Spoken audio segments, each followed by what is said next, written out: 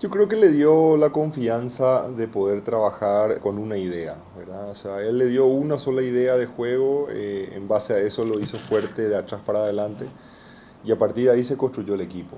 Entonces el, el, el, fútbol vino a, eh, a, partir de tener esa confianza, de ser muy sólidos atrás y con el talento de media cancha para arriba, eh, creo que las cosas se dieron solas. Así que el profe tiene muy claro lo que, lo que quiere, lo que busca a la hora de, de armar los equipos, de jugar los partidos y creo que estamos muy bien con ese, con ese esquema que él viene planteando. Así que estamos contentos y hay que seguir en esta senda. Tenemos tres jugadores que están a préstamo afuera del Olimpia. Eh, Iván Torres, que está en Colón, que ya le comunicamos que vuelve, que lo vamos a necesitar en el segundo semestre. Lo tenemos a Walter González en Portugal, eh, hizo una gran campaña el año, el año que estuvo en, en Europa hizo más de 14 goles allá, o sea que la verdad que vuelve con todo para poder ayudarnos en el ataque.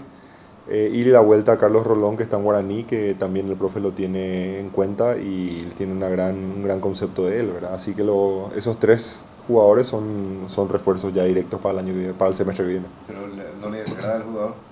¿Quién? No, claro que no. O sea, para mí es un muy buen jugador, un excelente jugador y, y creo que eh, en los clubes donde estuvo dio mucho y hizo mucho, ayudó mucho al equipo donde jugó.